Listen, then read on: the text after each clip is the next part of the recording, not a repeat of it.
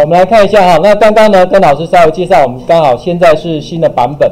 那么您一进来之后，跟之前有一个很大不同，就是一进来，它现在新版本是以什么？以个人为导向的，个人学习为导向。所以您进来，你会看到说，哎，您最近学习了哪些？那么您订阅的群组也好，或者是您订阅的知识，好知识，它里面呢有什么哪些更新？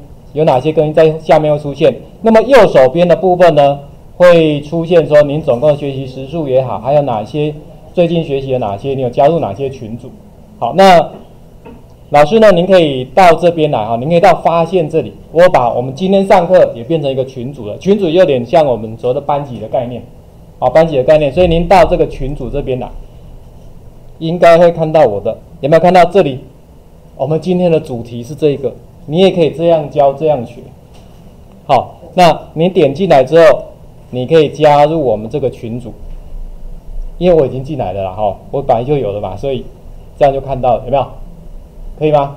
好，那待会儿呢，老师可以到这个活动里面，好，因为有些老师还没有弄好，那么您可以从这边看到，我已经有先准备几个，好，您可以按一下，如果您进来之后，你可以按一下后面的右边的这个学习，就可以试看看的。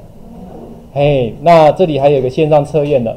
那么最近呢，OneNote 它官方也有，就是有准提供一些就是它的应用的范例，好，也有放在这里，我把它截取一部分放在这边，一样您就可以直接按学习就 OK，就可以看到。好，那我就把这个这一段先停一下喽。